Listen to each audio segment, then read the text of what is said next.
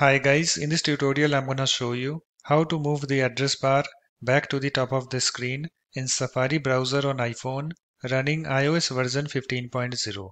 So this is my iPhone device and I have iOS version 15.0 installed on this. So let me show you first.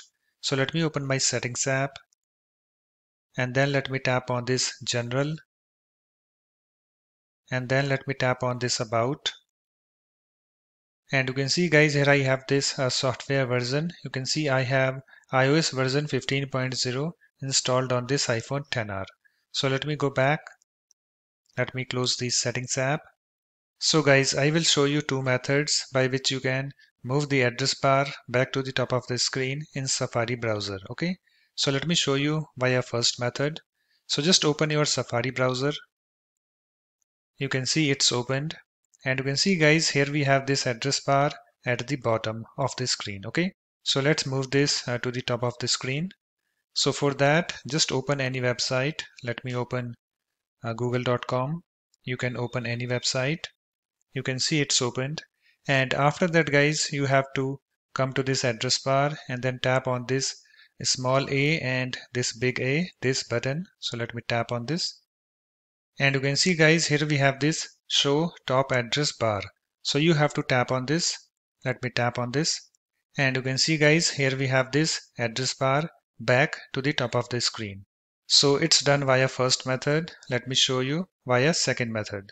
So let me move this again back to the bottom of the screen. So let me tap on this small a and big A this button. And then let me tap on this uh, show bottom tab bar you can see here we have this address bar at the bottom of the screen okay? So let me show you via second method.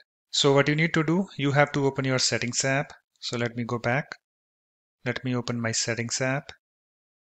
And after that guys you have to scroll down to Safari. So let me go to that.